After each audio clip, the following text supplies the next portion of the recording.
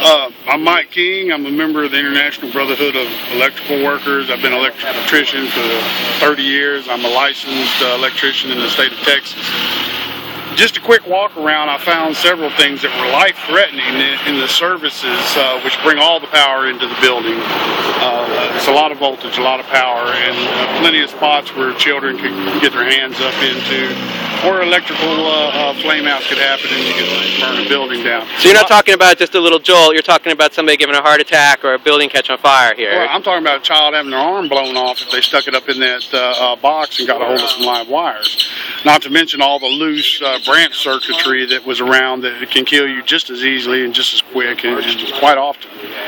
Uh, piss poor. I mean, uh, the, these people have been in danger for a long time. It's not; these aren't recent. They've been there.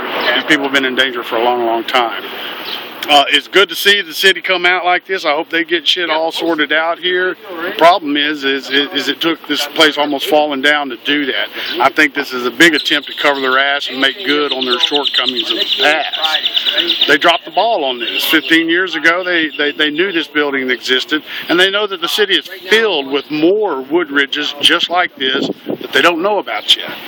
Uh, we have to find out a problem, uh, fig- figure out an answer to this problem uh, with code compliance and the citizens of Austin.